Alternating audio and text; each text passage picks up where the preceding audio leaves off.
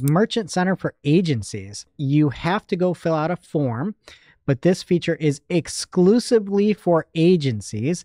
And according to Google, Merchant Center for agencies looks quite similar to the old multi client account MCA, but with functionalities more specifically targeted to agencies and should provide a clearer and more straightforward implementation.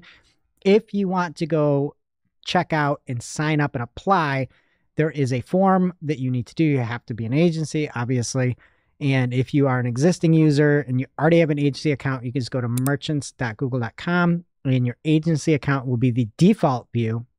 And you'll be able to get dashboards. So things like summary statistics on account statuses, issues, and diagnostics, which is huge.